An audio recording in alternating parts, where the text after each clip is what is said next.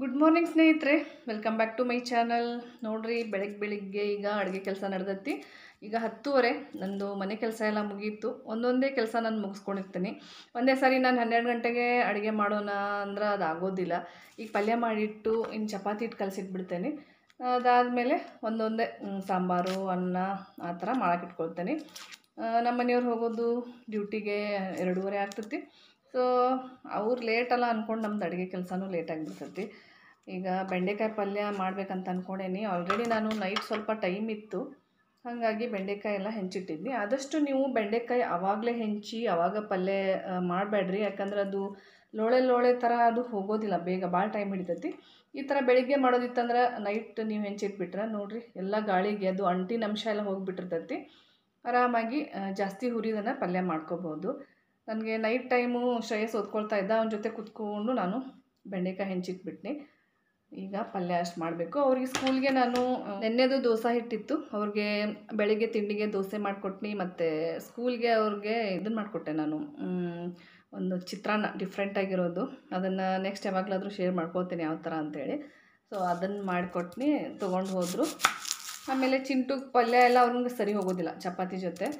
ಅದಕ್ಕೆ ಅವಂಗ ಚಪಾತಿ ಜೊತೆ ಜಾಮ್ ಹಚ್ಚಿ ಕೊಟ್ಟಿರ್ತೇನೆ. ಜಾಮ್ ಹಚ್ಚಿ ರೋಲ್ ಮಾಡಿರ್ತೇನೆ ಚಪಾತಿ. ಅಂದ್ರೆ ಅವ್ನಿಗೆ ಚಪಾತಿ ಮತ್ತು ಈ ಜೋಳದ ರೊಟ್ಟಿ ಅದು ಭಾಳ ಇಷ್ಟ ಅವನಿಗೆ. ನಿನ್ನೆ ನಾನು ಜೋಳದ ರೊಟ್ಟಿ ಮತ್ತು ಸಬ್ಬಸ್ಗಿ ಪಲ್ಯ ಮಾಡಿದ್ನಿ. ಸ್ಕೂಲಿಂದ ಬಂದು ಭಾಳ ಇಷ್ಟಪಟ್ಟು ತಿಂದ ಒಂಥರ ನಂತರ ಅವನು. ಎಲ್ಲ ಒಂಥರ ಊರ ಕಡೆ ಊಟ ಇಷ್ಟಪಡ್ತಾನು. ಏನಾಗೈತೆ ಅಂದ್ರೆ ನೋಡಿರಿಲ್ಲಿ ಚಾಪಿಂಗ್ ಬೋರ್ಡು ಎರಡು ಪೀಸ್ ಆಗಿಬಿಟ್ಟೈತಿ. ಇಲ್ಲೊಂದು ಪೀಸ್ ಐತೆ ನೋಡ್ರಿಲ್ಲ ಮೊನ್ನೆ ತೊಳಿಬೇಕಾದ್ರೆ ಏನಾಯ್ತಂದ್ರೆ ಒಂಚೂರು ಕೈ ಬಿಟ್ಬಿಟ್ನೆ. ಜೋರು ಇಲ್ಲ, ಒಂಚೂರು ಇಷ್ಟು ಇಲ್ಲಿಂದ ಹಿಂಗೆ ಬಿತ್ತು, ಇಷ್ಟಕ್ಕನೇ ಎರಡು ಪೀಸ್ ಆಗೋಯ್ತು. ಈಗ ಸದ್ಯಕ್ಕೆ ಇದ್ರೊಳಗನ ಕಟ್ ಮಾಡತ್ತೇನೆ ಕಟ್ಟಿಂಗು. ಇನ್ನೊಂದು ಹೊಸದು ತೊಗೊಳ್ಳೋವರೆಗೂ ಇದು ಕಂಫರ್ಟೇಬಲ್ ಅನಿಸೈತಿ. ಜಾಸ್ತಿ ತರಕಾರಿ ಇದ್ದಾಗ ಸ್ವಲ್ಪ ದೊಡ್ಡದಾಗಿರ್ಬೇಕಾಗಿತ್ತಲ್ಲ ಅನ್ಸತ್ತೈತಿ. ಸೊ ನೋಡೋಣ, ಇನ್ನೊಂದು ವಾರದೊಳಗೆ ತೊಗೋಬೇಕು ಅಂದ್ಕೊಂಡೇನು ಶಾಪಿಂಗ್ ಬೋರ್ಡು ಪಟ ಪಟ ಈಗ ನಿಮ್ಮ ಜೊತೆ ಮಾತಾಡ್ತಾ ಮಾತಾಡ್ತಾ ನಾನು. ಅಡುಗೆ ಮಾಡ್ಕೊಳ್ತೇನೆ. ಮತ್ತು ಇಬ್ಬರು ಸ್ಕೂಲ್ಗೆ ಹೋಗೋವರೆಗೂ ನನಗೂ ಬೇರೆ ಕೆಲಸ ಏನು ಮಾಡ್ಕೊಳಕ್ಕಾಗೋದಿಲ್ಲ. ಅವ್ರು ಸ್ಕೂಲ್ ಕಳಿಸೋದಾಗ್ಬಿಡ್ತೈತಿ ಅದಾದಮೇಲೆ ಉಳಿದಿರೋ ಕೆಲಸ ನಂದು. ಅವ್ರ ತಿಂಡಿ ಕೆಲಸ, ಅವ್ರಿಗೆ ಬಾಕ್ಸ್ ಹಾಕಿ ಕಳಿಸೋದು, ಮತ್ತು ಚಿಂಟು ಅಷ್ಟು ಫಾಸ್ಟ್ ಫಾಸ್ಟಾಗಿ ತಿನ್ನೋದಿಲ್ಲ ಅವ್ನು ಬೆಳಗ್ಗೆ ಬೆಳಗ್ಗೆ. ನಾನೇ ತಿನ್ನಿಸ್ತೇನೆ. ಇಲ್ಲ ಅಂದರೆ ಒಂದು ಆಟೋ ಬಂದುಬಿಡ್ತೈತಿ ಅರ್ಧಂಬರ್ಧ ತಿಂದು ಹೋಗ್ತಾನೆ, ಪಾಪ ಹಸು ಆಗ್ತೈತೆ ಅಂತ ಹೇಳಿ. ತಿನ್ನಿಸಿ ಕಳಿಸಿರ್ತೇನೆ. ಅವ್ರು ಹೋದ್ಮೇಲೆ ನಮ್ಮ ನಾಷ್ಟ. ಅದಾದಮೇಲೆ ಉಳಿದಿರೋ ಕೆಲಸ ಮಾಡ್ಕೊಂಡಿರ್ತೇನೆ. ಇನ್ನೇನಿಲ್ಲ, ಅಡುಗೆ ಕೆಲಸ ಮುಗಿಸ್ಕೊಂಡ್ರೆ ಫುಲ್ ಫ್ರೀ ಆಗಿಬಿಡ್ತೇನೆ ನಾನು. ಆಮೇಲೆ ನಾಳೆ ಇಡ್ಲಿ ಮಾಡಬೇಕು ಅಂತ ಅಂದ್ಕೊಂಡೇನಿ ನನಗೆ ಮೊನ್ನೆ ಮೊನ್ನೆ ಒಬ್ಬರು ಅಕ್ಕಿ ತರಿ ಪ್ಯಾಕೆಟ್ ನಾನು ಚೇಂಜ್ ಮಾಡಬೇಕು ಅಂತ ಲಾಸ್ಟ್ ಬ್ಲಾಗ್ ಒಳಗೆ ಹೇಳಿದ್ನಿ. ಕೆಲವೊಬ್ರು ನಂಗೆ ಕಮೆಂಟ್ ಮಾಡಿದರು, ಅಕ್ಕಿ ತರಿ ಒಳಗೂ ಇಡ್ಲಿ ಚಲೋ ಆಗ್ತೈತೆ ಅಂತ ಹೇಳಿ ಕಮೆಂಟ್ ಮಾಡಿದರು. ಹಾಗಾಗಿ ನಾನು ಅಕ್ಕಿ ತರಿ ಪ್ಯಾಕೆಟ್ನ ಚೇಂಜ್ ಮಾಡ್ಸೋಕೆ ಹೋಗಿಲ್ಲ. ಇವತ್ತು ಅಕ್ಕಿ ತರಿನ ನಾನು ನೆನೆಸಿಡ್ಬೇಕಂತ ಅಂದ್ಕೊಂಡೇನಿ ಇಡ್ಲಿಗೆ. ಸೊ ಪಲ್ಯ ಮಾಡೋಕ್ಕೆ ರೆಡಿ ಇನ್ನೊಂದು ಟೊಮ್ಯಾಟೊ ಅಷ್ಟು ಹೆಂಚ್ಕೋಬೇಕು ನಾನು. ಹಾಗೆ ತುಂಬ ದಿನದಿಂದ ನೀವೆಲ್ಲ ಕೇಳ್ತಾ ಇದ್ರಿ, ನಿಮ್ಮ ಗ್ಲೋಯಿಂಗ್ ಸ್ಕಿನ್ ಸೀಕ್ರೆಟ್ ಏನು ಅಂತ. ಬನ್ನಿ, ಇವತ್ತು ನಿಮ್ಮ ಜೊತೆ ಶೇರ್ ಮಾಡ್ಕೊಳ್ತಾ ಇದ್ದೀನಿ. ನಾನು ಯೂಸ್ ಮಾಡೋದು clinically the science of skin care ಅವರ ವಿಟಮಿನ್ ಸಿ ತ್ರೀ ಪ್ಲಸ್ ಸೆರಮನ್ನು ಇದು ವಿಟಮಿನ್ ಸಿ ಅಂಶವನ್ನು ಒಳಗೊಂಡಿರೋದ್ರಿಂದ ನಮ್ಮ ಫೇಸ್ ಸ್ಕಿನ್ಗೆ ತುಂಬಾ ಒಳ್ಳೆಯದು ಅಂತ ಹೇಳ್ಬೋದು. ಜೊತೆಗೆ ಈ ಬಾಕ್ಸ್ ಮೇಲೆ ಇಂಗ್ರೀಡಿಯೆಂಟ್ಸ್ ಏನೇನು ಯೂಸ್ ಮಾಡಿದ್ದಾರೆ ಅಂತ ಕೊಟ್ಟಿರ್ತಾರೆ. ಜೊತೆಗೆ ಡೈರೆಕ್ಷನ್ ಫಾರ್ ಯೂಸ್ ನಾವು ಯಾವ ರೀತಿ ಅಪ್ಲೈ ಮಾಡ್ಕೋಬೋದು ಅಂತ ಕೂಡ ಕೊಟ್ಟಿರ್ತಾರೆ. ಜೊತೆಗೆ ಇದ್ರ ಪ್ರೈಸು ಸಾವಿರದ ಇನ್ನೂರ ತೊಂಬತ್ತೊಂಬತ್ತು ನನಗೇನೋ ಇದು ವರ್ತ್ ಅಂತ ಅನ್ನಿಸ್ತು. ಈ ಬಾಕ್ಸ್ ಪ್ಯಾಕೇಜಿಂಗ್ ನನಗೆ ತುಂಬ ಇಷ್ಟ ಆಯಿತು. ನೋಡಿ ಎಷ್ಟು ಚೆನ್ನಾಗಿ ಪ್ಯಾಕ್ ಮಾಡಿದ್ದಾರೆ ಅಂಥೇಳಿ ನೋಡಿ, ನಿಮ್ಗೆ ಇಲ್ಲಿ ಕಾಣಿಸ್ತಾ ಇರ್ಬೋದು. ಇದೇ ಸೆರಮು. ಇದನ್ನು ಕೂಡ ಎಷ್ಟು ಸೇಫಾಗಿ ಇಟ್ಟಿದ್ದಾರೆ ಬಾಕ್ಸ್ ಒಳಗಡೆ ಅಂತ ಕೂಡ ನಿಮಗೆ ಗೊತ್ತಾಗ್ತಾ ಇರ್ಬೋದು. ಇದು ತರ್ಟಿ ಎಂ ಎಲ್ ಸೆರಮ್ ಆಗಿರುತ್ತೆ. ನೋಡಿ ಆರಾಮಾಗಿ ನಾವು ತಿಂಗಳಗಟ್ಟಲೆ ಯೂಸ್ ಮಾಡ್ಬೋದು. ಸ್ವಲ್ಪ ಡ್ರಾಪ್ಸನ್ನು ಹಾಕ್ಕೊಂಡ್ರೆ ಸಾಕು. ಆರಾಮಾಗಿ ಫೇಸ್ ಮತ್ತು ನೆಕ್ಗೆ ನಾವು ಅಪ್ಲೈ ಮಾಡ್ಕೋಬೋದು. ಈ ಸೆರಮನ್ನು ಮಾರ್ನಿಂಗ್ ಮತ್ತು ಈವ್ನಿಂಗ್ ಯೂಸ್ ಮಾಡ್ಬೋದು. ಹಾಗೆ ಈ ಸೆರಮನ್ನು ನಾವು ಯಾವ ರೀತಿ ಅಪ್ಲೈ ಮಾಡ್ಕೋಬೋದು ಅಂತ ತೋರಿಸ್ಕೊಡ್ತಾ ಇದ್ದೀನಿ ನೋಡಿ. ನಾನು ನಾಲ್ಕರಿಂದ ಐದು ಡ್ರಾಪ್ಸ್ನಷ್ಟು ಸೆರಮ್ನ ತೊಗೊಂಡಿದ್ದೀನಿ. ಇದನ್ನು ಫೇಸ್ ಮತ್ತು ನೆಕ್ಗೆ ಎಲ್ಲ ಕಡೆ ಚೆನ್ನಾಗಿ ಅಪ್ಲೈ ಮಾಡ್ಕೋಬೇಕು. ನೋಡಿ, ಈ ಥರ. ನೆಕ್ಸ್ಟ್ ಸ್ಟೆಪ್ ಏನಂದರೆ ನಾವು ಸೆರಮ್ನ ಚೆನ್ನಾಗಿ ಮಸಾಜ್ ಮಾಡ್ಕೋಬೇಕು ಸರ್ಕ್ಯುಲರ್ ಮೋಷನಲ್ಲಿ ನೋಡಿ ಫೇಸು ಮತ್ತು ನೆಕ್ ಭಾಗದಲ್ಲಿ ಚೆನ್ನಾಗಿ ಅಬ್ಸಾರ್ಬ್ ಆಗಬೇಕು ಸೆರಮ್ ಪೂರ್ತಿ ನೋಡಿ. ಈಗ ಅಬ್ಸಾರ್ಬ್ ಆಗಿದೆ. ಒಂದು ಎರಡು ಮೂರು ನಿಮಿಷ ನಾನು ಚೆನ್ನಾಗಿ ಮಸಾಜ್ ಮಾಡ್ಕೊಂಡಿದ್ದೀನಿ. ಇದು ನಮ್ಮ ಮುಖದ ಮೇಲಿರೋ ಕಪ್ಪು ಕಲೆಗಳನ್ನು ಕಡಿಮೆ ಮಾಡೋದಕ್ಕೆ ಮತ್ತು ನಮ್ಮ ಮುಖದ ಚರ್ಮದ ಕಾಂತಿಯನ್ನು ಹೆಚ್ಚಿಸೋಕೆ ಹೆಲ್ಪ್ ಮಾಡುತ್ತೆ. ಹಂಗೆ ಇವತ್ತು ಬೆಳಗ್ಗೆ ಬೆಳಿಗ್ಗೆ ಸ್ವಲ್ಪ ಕ್ಲೀನಿಂಗ್ ಕೆಲಸನೂ ಮಾಡತ್ತಿದ್ದೀನಿ ನಾನು ಅಡುಗೆ ಮಾಡ್ಕೊತ. ಯಾಕಂದರೆ ಇಲ್ಲಿ ನಾವು ಓಪನ್ ಜಾಗ ಆಗ್ತತಿ ಇದು. ನಾವು ಶೋಗಂತ ಏನು ಇಟ್ಟೇನಲ್ಲ ಐಟಮ್ಸು ಭಾಳ ಧೂಳು ಕೂತ್ಕೋತತಿ. ಒಂದು ಹದಿನೈದು ಇಪ್ಪತ್ತು ದಿವ್ಸಕ್ಕೆ ಒಂದು ಸಾರಿ ಅಂತೂ ನಾನು ತೊಳೆದೇ ತೊಳಿತೇನೆ. ಮೇಲ್ಗಡೆ ಎಲ್ಲ ಒಂಥರ ಲೇಯರ್ ಕುತ್ಕೊಂಡಂಗೆ ಆಗಿರ್ತೈತಿ. ಇಲ್ಲ ಅಂದ್ರೆ ಒಂದೊಂದು ಸಾರಿ ಜೇಡ ಕಟ್ದಂಗೂ ಆಗ್ಬಿಡ್ತೈತೆ ಅಲ್ಲಿ. ಏನಾದರೂ ನಾವು ಒಂಚೂರು ಕೈ ಹಾಕಿ ಒರೆಸ್ಕೊಳ್ಳಿಲ್ಲ ಅಂದ್ರೆ. ಸೊ ಒಂದು ತಿಂಗಳಂತೂ ಆಗಿತ್ತು. ಅಲ್ಲೆಲ್ಲ ಧೂಳು ಕೂತ್ಕೊಂಡಿತ್ತು ಸಣ್ಣದಾಗಿ. ಸೊ ಹಂಗೆ ಒಂದು ಸಾರಿ ತೊಳೆದಿರ್ತೇನೆ ಅಷ್ಟೇ ನಾನು. ಜಸ್ಟ್ ಏನು ಗಲೀಜೇನಾಗಿರಲ್ಲ ಮೇಲ್ಗಡೆ ಡಸ್ಟ್ ಕೂತಿರುತ್ತಲ್ಲ ಲೈಟಾಗಿ ತೊಳೆದಿರ್ತೇನೆ. ಮತ್ತು ಗ್ಲಾಸ್ ಮೇಲೆ ಮೇನ್ ಭಾಳ ಧೂಳು ಕೂತ್ಕೊಂಡಿರ್ತೈತಿ. ಅದನ್ನು ಕ್ಲೀನಾಗಿ ಒರೆಸ್ಕೊತೀನಿ. ಯಾರಾದರೂ ಸಡನ್ನಾಗಿ ಗೆಸ್ಟ್ ಬಂದ್ರೆ ಸರಿ ಅನಿಸೋದಿಲ್ಲ. ಹಾಗಾಗಿ ಅವಾಗ ನಾನು ಈ ಜಾಗ ಕ್ಲೀನ್ ಮಾಡ್ಕೊತಿರ್ತೇನೆ. ಅದಾದಮೇಲೆ ಚಪಾತಿ ಹಿಟ್ಟು ಕಲಸಿಟ್ಕೊಳತ್ತಿದ್ನಿ. ಚ, ಪಲ್ಯ ಮಾಡೋದಕ್ಕಿಂತ ಮುಂಚೆ. ಗೋಧಿ ಹಿಟ್ಟಿಗೆ ಜಸ್ಟ್ ನಾನು ಉಪ್ಪು ಮತ್ತು ಸ್ವಲ್ಪ ಎಣ್ಣೆ ಹಾಕಿ ಮಿಕ್ಸ್ ಮಾಡ್ಕೊಂಡಿರ್ತೇನೆ. ನೋಡಿರಿ ನೀರನ್ನು ನೋಡ್ಕೊಂಡು ಕಲಿಸ್ಕೋಬೇಕು. ಜಾಸ್ತಿ ಸುರುಕೊಂಬಿಟ್ರೆ ಹಿಟ್ಟೆಲ್ಲ ಮೆತ್ತಗಾಗ್ಬಿಡ್ತೈತಿ ಆದಷ್ಟು ನಾನು ತುಂಬ ಗಟ್ಟಿನೂ ಅಲ್ಲ, ತುಂಬ ಮೆತ್ತಗೂ ಅಲ್ಲ, ಆ ಥರ ಕಲಸಿಟ್ಕೊಂಡಿರ್ತೇನೆ. ನೋಡ್ರಿ ಈ ಥರ ಒಂದು ಹತ್ತರಿಂದ ಹದಿನೈದು ನಿಮಿಷ ಅಂತೂ ಹಿಟ್ಟನ್ನು ನೆನೆಸಿಡ್ತೇನಲ್ಲ, ಹಾಗಾಗಿ ಸ್ವಲ್ಪ ಗಟ್ಟಿಯಾಗೇ ನಾನು ಇಟ್ಕೊಂಡ್ಬಿಡ್ತೇನೆ. ಯಾಕಂದ್ರೆ ನೆನೆದ ಮೇಲೆ ಇನ್ನೂ ಮೆತ್ತಗಾಗ್ಬಿಡ್ತೈತಿ ಅದಾದಮೇಲೆ ಪಲ್ಯಕ್ಕೆ ನೋಡ್ರಿ ಬೆಂಡೆಕಾಯಿ ಪಲ್ಯ ಮಾಡಕ್ಕೆ ಬೆಂಡೆಕಾಯಿ ಹುರ್ಕೊಳತ್ತೇನೆ. ನಾವು ಬೇರೆ ಎಲ್ಲ ಪಲ್ಯ ಮಾಡೋದಕ್ಕೆ ಎಣ್ಣೆ ಹಾಕ್ತೇವಲ್ಲ ಅದಕ್ಕಿಂತ ಸ್ವಲ್ಪ ಬೆಂಡೆಕಾಯಿಗೆ ಎಣ್ಣೆ ಜಾಸ್ತಿ ಹಾಕಿದ್ರೆ ರುಚಿ ಜಾಸ್ತಿ. ನಾನು ಬೆಂಡೆಕಾಯಿನ ಹುರಿದಿಟ್ಟು ಮತ್ತೊಂದು ಸಾರಿ ಏನು ಒಗ್ಗರಣೆ ಹಾಕತ್ತಿಲ್ಲ. ಇದ್ರೊಳಗೆ ನಾನು ಒಗ್ಗರಣೆ ಹಾಕಿಬಿಡ್ತೇನೆ. ಯಾವ ರೀತಿ ಅಂತ ತೋರಿಸ್ತೇನೆ ಬರ್ರಿ ಈಗ ಒಂದೊಂದು ಸಾರಿ ಟೈಮ್ ಇರೋದಿಲ್ಲ ಒಗ್ಗರಣೆ ಹಾಕಕ್ಕೆ. ಪಟ್ ಅಂಥೇಳಿ ಈ ಮೆಥಡ್ ಒಳಗೆ ನೀವು ಮಾಡಿದ್ರೆ ಲಘು ಆಗ್ತದೆ ಪಲ್ಯ. ಒಂದು ಐದರಿಂದ ಎಂಟು ನಿಮಿಷ ಬೆಂಡೆಕಾಯಿನ ಚೆಂದಾಗಿ ಹುರ್ಕೊಂಡೇನಿ. ಅದಾದಮೇಲೆ ಸಣ್ಣದಾಗಿ ಕಟ್ ಮಾಡ್ಕೊಂಡಿರೋ ಉಳ್ಳಾಗಡ್ಡಿ ಸೇರಿಸ್ಕೊಳಕತ್ತೇನೆ. ಈರುಳ್ಳಿ ಸೇರಿಸ್ಕೊಂಡಾದ್ಮೇಲೆ ಇನ್ನೊಂದು ನಾಲ್ಕು ನಿಮಿಷ ನಾನು ಚೆಂದಾಗೆ ಮೀಡಿಯಮ್ ಉರಿ ಒಳಗೆ ಫ್ರೈ ಮಾಡ್ಕೊಳಕತ್ತೇನೆ. ನೋಡಿರಿ, ಇಷ್ಟು ಫ್ರೈ ಮಾಡ್ಕೊಂಡಾದ್ಮೇಲೆ ನೆಕ್ಸ್ಟು ನಾನು ಕರಿಬೇವು ಸೇರಿಸ್ಕೊಳತ್ತೇನೆ. ಈಗ ಕರಿಬೇವು ಮತ್ತು ಬೆಂಡೆಕಾಯಿ, ಈರುಳ್ಳಿ ಚೆಂದಾಗೆ ಒಂದೆರಡು ನಿಮಿಷ ಮತ್ತೆ ನಾನು ಫ್ರೈ ಮಾಡ್ಕೊಳಕತ್ತೇನೆ. ಬೆಂಡೆಕಾಯಿ ಹುರ್ಕೊಳ್ಳೋ ಅಷ್ಟು ಟೈಮ್ ಒಳಗೆ ನಾವು ಪಲ್ಯನ ಮಾಡ್ಕೊಂಡ್ಬಿಡ್ಬೋದು. ಅದಾದಮೇಲೆ ನೆಕ್ಸ್ಟು ನಾನು ಒಂದು ಚಮಚದಷ್ಟು ಅರಿಶಿನದ ಪುಡಿ ಹಾಕ್ಕೊಳತ್ತೇನೆ. ಅದಾದಮೇಲೆ ರುಚಿಗೆ ತಕ್ಕಷ್ಟು ಉಪ್ಪು, ಹಂಗೆ ಅದಾದಮೇಲೆ ಮಸಾಲೆ ಖಾರ ಹಾಕ್ಕೊಳತ್ತೇನೆ. ಅದಾದಮೇಲೆ ನಾನು ಆಲ್ರೆಡಿ ಕಟ್ ಮಾಡಿ ಇಟ್ಕೊಂಡಿದ್ನಲ್ಲ ಟೊಮ್ಯಾಟೊ, ಅದನ್ನು ಮತ್ತು ಒಂದು ಇಂಚಷ್ಟು ಶುಂಠಿನ ಜಜ್ಕೊಂಡು ಸೇರಿಸ್ಕೊಳತ್ತೇನೆ ಶುಂಠಿ ಜೋಡಿ ನೀವು ಬೇಕಂದರೆ ಬೆಳ್ಳುಳ್ಳಿನೂ ಕೂಡ ಸೇರಿಸ್ಕೊಂಡ್ರೆ ಇನ್ನೂ ಟೇಸ್ಟ್ ರುಚಿ ಜಾಸ್ತಿ ಆಗ್ತೈತಿ. ಈಗ ಚೆಂದಾಗೆ ಇನ್ನೊಂದು ಮೂರು ನಾಲ್ಕು ನಿಮಿಷ ಮಿಕ್ಸ್ ಮಾಡಿಕೊಂಡು ಫ್ರೈ ಮಾಡ್ಕೊಂಡು ಆದಮೇಲೆ ನೆಕ್ಸ್ಟು ನಾನು ಲಾಸ್ಟು ಸಣ್ಣದಾಗಿ ಕಟ್ ಮಾಡ್ಕೊಂಡಿರೋ ಕೊತ್ತಂಬರಿ ಸೊಪ್ಪನ್ನು ಹಾಕ್ಕೊಳಕತ್ತೇನೆ ಇಷ್ಟು ಹಾಕ್ಕೊಂಬಿಟ್ರೆ ನೈಂಟಿ ನೈನ್ ಪರ್ಸೆಂಟ್ ಕೆಲಸ ಮುಗ್ದಂಗನ. ಈಗ ಕೊತ್ತಂಬರಿ ಸೊಪ್ಪನ್ನು ಚೆಂದಾಗೆ ಮಿಕ್ಸ್ ಮಾಡ್ಕೊಂಡಾದ್ಮೇಲೆ ಇನ್ನೊಂದು ಐದು ನಿಮಿಷ ನಾನು ಸಣ್ಣ ಉರಿ ಒಳಗೆ ಬೇಯಿಸ್ಕೊಳತ್ತೀನಿ. ಯಾವುದೇ ಕಾರಣಕ್ಕೂ ನೀರಂತೂ ಹಾಕಬಾರ್ದು.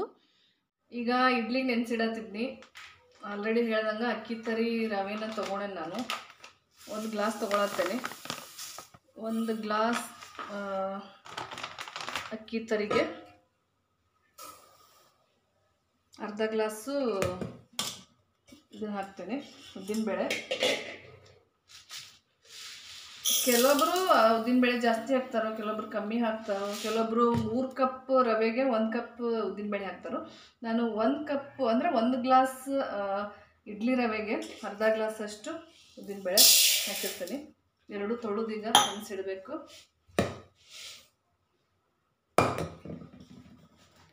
ಇಬ್ಬರು ಸ್ಕೂಲಿಂದ ಬರ್ತಾರಲ್ಲ, ಏನಾದರೂ ಸ್ಪೆಷಲ್ ಮಾಡಿಕೊಡು ಮಾಡಿಕೊಡು ಅಂದಾಗ ಆರಾಮಾಗಿ ಬಿಸಿ ಬಿಸಿ ಇಡ್ಲಿ ಚಟ್ನಿ ಮಾಡಿಕೊಟ್ರೆ ಇಷ್ಟಪಟ್ಟು ತಿಂತಾರೋ. ಹಾಗಾಗಿ ಹೆಚ್ಚ, ಹೆಚ್ಚಾಗಿ ನಾನು ಇಡ್ಲಿನ ಮಾಡಿಸ್ತೇನೆ. ಹಿಟ್ಟು ಕೂಡ ನೆನೆದತ್ತಿ ಇನ್ನು ಚಪಾತಿ ಮಾಡಿ ಇಟ್ಬಿಡ್ತೇನೆ. ಒಂದು ಹತ್ತರಿಂದ ಹದಿನೈದು ನಿಮಿಷ ಅಂತೂ ಚಪಾತಿ ಹಿಟ್ಟು ನೆನಿಲೇಬೇಕು. ಅವಾಗಿಂದ ಅವಾಗ ಮಾಡೋಕ್ಕೆ ಹೋದ್ರೆ ಅಷ್ಟು ಸಾಫ್ಟ್ ಬರೋದಿಲ್ಲ. ಕೆಲವೊಬ್ಬರು ಅವಾಗಿಂದ ಅವಾಗ ಮಾಡ್ತಾರೋ ಮತ್ತು ನಮ್ಮ ಮನೆಗೆ ಯಾವಾಗಾದ್ರೂ ಗೆಸ್ಟ್ ಬಂದಾಗ ನಾನು ಚಪಾತಿ ಮಾಡಿದ್ನಿ ಅಂದ್ರೆ ನೀವು ಯಾವ ಹಿಟ್ಟು ತಂದಿರಿ, ಯಾವ ಹಿಟ್ಟಿಂದ ಚಪಾತಿ ಮಾಡಿರಿ ಅಂತ ಕೇಳ್ತಾರೆ ನಾವು ಹಿಟ್ಟನ್ನು ನಾವು ಮಿಲ್ಲಲ್ಲೇ ಹಾಕ್ಸ್ಕೊಂಬರ್ತೇವೆ ಪ್ಯಾಕೆಟ್ ಹಿಟ್ಟು ಅಷ್ಟು ಒಳ್ಳೇದಲ್ಲ ಅಂತ ಹೇಳಿ. ಬಟ್ ಇದಕ್ಕಿಂತ ಮುಂಚೆ ನಾವು ಪ್ಯಾಕೆಟ್ ಹಿಟ್ಟೇ ಯೂಸ್ ಮಾಡ್ತಿದ್ವಿ. ಅವ್ರಂತಾರು ನೀವು ಮಿಲ್ಲಲ್ಲಿ ಹಾಕ್ಸ್ಕೊಂಬರ್ತೀರಲ್ಲ ಅದಕ್ಕೆ ಸಾಫ್ಟ್ ಆಗ್ತಾವಂತಾರು ಬಟ್ ಹಾಗೇನಿಲ್ಲ. ನಾನು ರೆಡಿಮೇಡ್ ಹಿಟ್ಟು ತಂದ್ರೂ ಸಾಫ್ಟ್ ಆಗ್ತಾವು, ಮನ್ಯಾಗ ಹಿಟ್ಟು ಬಿಸ್ಕೊಂಡು ಬಂದ್ರೂ ಸಾಫ್ಟ್ ಆಗ್ತಾವು. ನಾವು ಯಾವ ರೀತಿ ಚಪಾತಿ ಮಾಡ್ತೇವಿ ಅನ್ನೋ ಮೆಥಡ್ ಮೇಲೆ ಅದು ಡಿಪೆಂಡು ಸಾಫ್ಟ್ ಆಗೋದು. ಸ್ವಲ್ಪ ನೆನೆಸಿಟ್ಟು ತೆಳ್ಳಗೆ ಮಾಡಿದ್ರೆ ಚಪಾತಿ ಸಾಫ್ಟ್ ಆಗೇ ಆಗ್ತಾವು. ಈಗ ಚಪಾತಿ ಮಾಡ್ಕೊಳಕ್ಕೆ ಉಳ್ಳಿ ಮಾಡ್ಕೊಂಡು ಇಟ್ಕೊಳತ್ತೇನೆ. ಭಾಳ ದೊಡ್ಡ ದೊಡ್ಡ ಏನು ಮಾಡಂಗಿಲ್ಲ ನಾನು ಚಪಾತಿ. ದಪ್ಪ ಆಗಿಬಿಡ್ತಾವು. ಸ್ವಲ್ಪ ಸ್ವಲ್ಪ ಹಿಟ್ಟು ತಗೊಂಡು ಉಳ್ಳಿ ಮಾಡ್ಕೊಳತ್ತೇನೆ. ಇದಕ್ಕಿಂತ ಜಾಸ್ತಿ ಹಿಟ್ಟು ತೊಗೊಂಡ್ಬಿಟ್ರೆ ಭಾಳ ದಪ್ಪ ಅನಿಸ್ತಾವೆ ಚಪಾತಿ. ಹುಡುಗರೆಲ್ಲ ಇಷ್ಟಪಡಂಗಿಲ್ಲ ಮನ್ಯಾಗ. ನಾನು ಮೂರು ಮೂಲಿ ಚಪಾತಿನ ಮಾಡಿರ್ತೀನಿ. ಪದರ್ ಚಪಾತಿ ಅಂದ್ರೆ ಅದು ಇಷ್ಟ ನಮ್ಮ ಮನೆಯೊಳಗೆ. ಸ್ವಲ್ಪ ಇದಕ್ಕಿಂತ ಅದು ಸ್ವಲ್ಪ ಟೈಮ್ ಜಾಸ್ತಿ ಹಿಡಿದು ಬಿಡ್ತೈತಿ ಇದು ಪಟ್ ಅಂತ ಆಗಿಬಿಡ್ತೈತಿ ಮೂರು ಮೂಲಿ ಚಪಾತಿ. ಹಿಟ್ಟನ್ನು ಸ್ವಲ್ಪ ಆದಷ್ಟು ಕಮ್ಮಿ ಕಮ್ಮಿ ಹಚ್ಕೊಂಡೇ ಲಟ್ಸ್ಕೋಬೇಕು. ಇದೆಲ್ಲರಿಗೂ ಗೊತ್ತು. ಉತ್ತರ ಕರ್ನಾಟಕದಲ್ಲಿ ಚಪಾತಿ ಬರದೇ ಇರೋರಂತೂ ಯಾರೂ ಇಲ್ಲ. ಸ್ವಲ್ಪ ಮೈಸೂರು ಸೈಡು ಅಷ್ಟು ಚಪಾತಿ ಮಾಡೋದಿಲ್ಲ. ಮುದ್ದೆ ಮಾಡ್ತಿರ್ತಾರೆ ಅವರು ನನ್ನ ಕೇಳ್ತಿರ್ತಾರೆ, ನೀವು ಹೆಂಗೆ ಮಾಡ್ತೀರಿ? ಅಂಥೇಳಿ ಸ್ವಲ್ಪ ಮಾಡದೇ ಇರೋರಿಗೆ ಈ ಕಲಿತಿರ್ತಾರಲ್ಲ ಅಂಥವ್ರು ಯೂಸ್ ಆಗಲಿ ಅಂತ ಕೆಲವೊಂದು ಟಿಪ್ಸ್ ಕೊಡತ್ತೇನೆ ಅಷ್ಟು. ಆದಷ್ಟು ದಂಡಿನ ಲಟ್ಸ್ಕೊಂತ ಹೋಗಬೇಕು. ದಂಡಿ ದಪ್ಪ ದಪ್ಪ ಆದರೆ ತಿನ್ನೋ ಮುಂದೆ ಅಷ್ಟು ಚಲೋ ಅನಿಸೋದಿಲ್ಲ. ನಾನು ಆದಷ್ಟು ತೆಳ್ಳಗನ ಮಾಡಿರ್ತೇನೆ ಚಪಾತಿನ. ಮತ್ತು ಈ ತೆಮಿ ಬಗ್ಗೆ ಹೇಳ್ಬೇಕಂದ್ರೆ ನೋಡ್ರಿ, ನಾ ಮೊನ್ನೆ ಮೊನ್ನೆ ಅಂದ್ರೆ ಒಂದು ವರ್ಷದ ಹಿಂದನ ಕಬ್ಬಿಣದ ತವಿ ತೊಗೊಂಡೇನಿ ಭಾಳ ಯೂಸ್ ಆಗೈತಿ.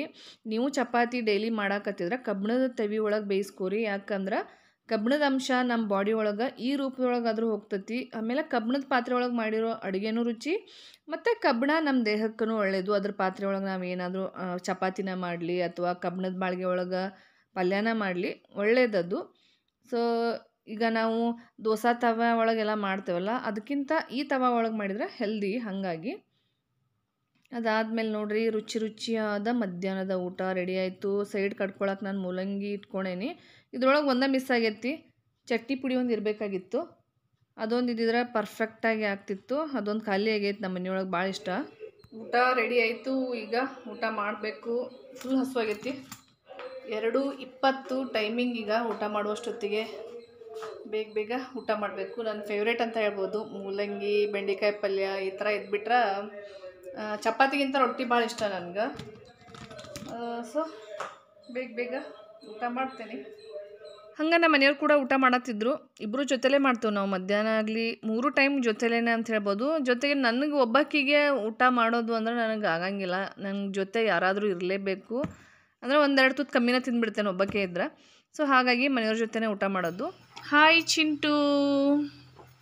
ಏನು ಮಾಡಿ ಸ್ಕೂಲ್ದಾಗ?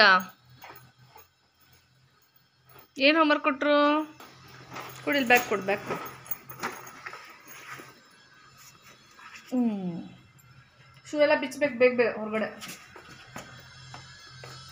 ಇಲ್ಲೇ ಬಿಚ್ಚಿಬಿಡು ಶೂ. ಕೆಳ ಕುತ್ಕೋ, ಕೂತ್ಕೋ ಕೆಳ ಕುತ್ಕೋ. ಗುಡ್ ಈವ್ನಿಂಗ್ ಸ್ನೇಹಿತರೆ. ಈಗ ಸಂಜೆ ಆರು ಮುಕ್ಕಾಲಾಗೈತಿ ನಾನು ಜಸ್ಟ್ ವಾಕ್ ಮುಗಿಸ್ಕೊಂಡು ಬಂದು ಚಿಂಟು ಕೂಡ ಹೋಮ್ವರ್ಕ್ ಮುಗಿಸತ್ತಾನೀಗ ಹೆಚ್ಚಾಗಿ ಅವ್ನು ಆರರಿಂದ ಹೋಮ್ವರ್ಕ್ ಮಾಡಿಬಿಡ್ತಿದ್ದ. ಇವತ್ತು ಸ್ವಲ್ಪ ನಾನು ವಾಕ್ ಹೋದ್ನಿ. ಹಾಗಾಗಿ ಎಲ್ಲ ಉಲ್ಟಾ ಪಲ್ಟಾ ಆಯಿತು. ಟೂ ಮಂತ್ಸ್ ಅಂತೂ ಆಗಿತ್ತು ನಾನು ವಾಕ್ ಹೋಗ್ದೆ. ಇವತ್ತಿಂದ ಶುರು ಮಾಡೇನಿ. ಯಾಕಂದ್ರೆ ಮಳೆ ಜಾಸ್ತಿ ಇತ್ತು. ಇವತ್ತು ಮಳೆ ಬರೋ ಥರ ಇತ್ತು, ಯಾಕೋ ಮಳೆ ಬರಲಿಲ್ಲ. ಮಳೆ ಬರೋ ಥರ ಇತ್ತು. ನಾನು ಈ ಕಡೆ ನಾನು ವಾಕ್ ಹೋದ್ರೆ ಇವ್ರದ್ದು ಎಲ್ಲಿ ಓದೋದೆಲ್ಲ ಇದಾಗ್ತೈತೆ ಅಂತ ಹೇಳಿ ನಾನು ಹೋಗತ್ತಿರಲಿಲ್ಲ. ಈಗ ಬೇಗ ಹೋಗಿ, ಬೇಗ ಬರೋಣ ಅಂದ್ಕೊಂಡು ಇವತ್ತು ಆರು ಮುಕ್ಕಾಲು ಆಗೇ ಬಿಟ್ಟು ಕತ್ಲಾಗೇ ಬಿಟ್ಟೈತಿ. ಅವನು ಕೂಡ ಈಗ ಬೇಗ ಬೇಗ ಹೋಮ್ವರ್ಕ್ ಮುಗಿಸತ್ತನು ಅವಂಗ ಯಾವಾಗಲೂ ಹೋಮ್ವರ್ಕ್ ಮುಗಿಸೋ ಟೆನ್ಷನ್ದಾಗ ಇರ್ತಾನೆ ಅವನು. ಹಾಗೆ ಕೆಲವೊಬ್ಬರೆಲ್ಲ ಕೇಳತ್ತಿದ್ರು ಅವ್ನ ಹೆಸರೇನು ಚಿಂಟುಂದು? ನೀವು ಚಿಂಟು ಚಿಂಟು ಅಂತ ಕರಿತೀರಲ್ಲ ಅಂಥೇಳಿ ಅವನ ಹೆಸರು ಹೇಮಂತ್ ಅಂಥೇಳಿ ಅದು ರಶ್ಮಿ ದೀಪಕ್. ಸೊ ಮಧ್ಯಾಹ್ನ ನಾನು ರೆಸ್ಟ್ ಮಾಡಿದ್ನಿ. ಸೊ ವ್ಲಾಗ್ನ ಕಂಟಿನ್ಯೂ ಮಾಡೋಕ್ಕಾಗಲಿಲ್ಲ ನನಗೂ ಕೂಡ. ನೋಡ್ರಿ ಬರೀ ಹೋಮ್ವರ್ಕ್ ಬರೆಯೋದ ಚಿಂತೆ. ಅವ್ನಿಗೆ ಬರೆಯೋದು ಇಂಟ್ರೆಸ್ಟು ಸ್ವಲ್ಪ ಓದು, ಏನಾದರೂ ಎಕ್ಸ್ಟ್ರಾ ಅಂದ್ರೆ ಅವ್ನಿಗೆ ಆಗಂಗಿಲ್ಲ, ಅಷ್ಟು ಇಂಟ್ರೆಸ್ಟ್ ಪಡಂಗಿಲ್ಲ. ಬರೀ ಅಂದ್ರೆ ಹೋಮ್ವರ್ಕ್ ಕೊಟ್ಟಿದ್ದೆಲ್ಲ ಬೇಗ ಬೇಗ ಬರೆದು ಮುಗಿಸ್ಬಿಡ್ತಾನೆ ಅವನು. ನೋಡಿಲಿ ಹಂಗೆ ಸಂಜೆ ಏಳುವರೆ ಆಗಿತ್ತು. ನಮ್ಮ ಮನೆಯವರು ಡ್ಯೂಟಿಯಿಂದ ಬರಾತಿದ್ರು. ಫೋನ್ ಮಾಡಿ ಹೇಳಿದರು ಫಂಕ್ಷನ್ಗೆ ಹೋಗತ್ತಿದ್ರು ಅವರು. ಮಕ್ಕಳನ್ನಿಬ್ಬರನ್ನು ರೆಡಿ ಮಾಡು, ನಾನು ಬರಾತೇನೆ ಅಂತ. ಶ್ರೇಯಸ್ ಆಲ್ರೆಡಿ ರೆಡಿ ಆಗಿದ್ದಾನು. ಚಿಂಟುನ್ ರೆಡಿ ಮಾಡತ್ತಿದ್ನಿ ಅವನಿಗೆ ಇಷ್ಟವಾಗಿರೋ ಡ್ರೆಸ್ ಹಾಕಿಲ್ಲ ಅಂತ ಬೇಜಾರು ಮಾಡ್ಕೊಳತ್ತಿದ್ದ ಅವನು. ಒಂಥರ ಮುಖ ಹಿಂಗೆ ಮಾಡಿದ್ದ. ಅವ್ನು ಹೇಳಿದ್ದೇ ಹಾಕಬೇಕು. ಸೊ ನಾನೇ ಫೋರ್ಸ್ ಮಾಡಿ ಇದನ್ನು ಜುಬ್ಬ ಹಾಕಿದ್ನ ಅವನಿಗೆ. ಅವರೆಲ್ಲರೂ ನನ್ನ ಒಬ್ಬಕ್ಕಿನ್ನ ಬಿಟ್ಟು ಇವತ್ತು ಫಂಕ್ಷನ್ ಕೊಂಟಾರ ನೋಡ್ರಿ. ಹೆಚ್ಚಾಗಿ ಎಲ್ಲರೂ ಜೊತೆಲೇ ಹೋಗ್ತಿದ್ವಿ. ಚಿಂಟು ಕೂಡ ಬಾ ಬಾ ಅನ್ನತ್ತಿದ್ದು ನನಗೆ. ಅವನಿಗೆ ನಾನು ಬರ್ಬೇಕು. ಎಲ್ಲರೂ ಹೋದ್ರೇನ ಖುಷಿ ಅವನಿಗೆ. ನೋಡ್ರಿ ಅಪ್ಪ ಮಕ್ಕಳು ಎಲ್ಲ ನನ್ನನ್ನೊಬ್ಬಕ್ಕಿನ್ನ ಬಿಟ್ಟು ಫಂಕ್ಷನ್ಗೆ ಹೊಂಟಿದ್ರು. ನಮ್ಮ ಮನೆಯವ್ರ ಫ್ರೆಂಡ್ದು ಗೃಹ ಪ್ರವೇಶ ಇತ್ತು. ನಾಳೆ ಅದು ಗೃಹ ಪ್ರವೇಶ. ಇವತ್ತು ಸಾಯಂಕಾಲ ಜಸ್ಟ್ ಪೂಜೆ ಇತ್ತು. ಬಾಯ್ ಸೊ ಸ್ನೇಹಿತರೆ, ಇವತ್ತಿನ ವ್ಲಾಗ್ನ ಇಲ್ಲಿಗೆ ಎಂಡ್ ಮಾಡತ್ತೀನಿ. ನಿಮ್ಮೆಲ್ಲರಿಗೂ ಇವತ್ತಿನ ವ್ಲಾಗ್ ಇಷ್ಟ ಆಗೈತೆ ಅಂತ ಅಂದ್ಕೊಳ್ತೀನಿ ಇಷ್ಟ ಆದರೆ ಲೈಕ್ ಮಾಡಿ ಶೇರ್ ಮಾಡಿ ಸಬ್ಸ್ಕ್ರೈಬ್ ಮಾಡ್ಕೊಳ್ಳಿ. ಮತ್ತೆ ಸಿಗೋಣ. Thank you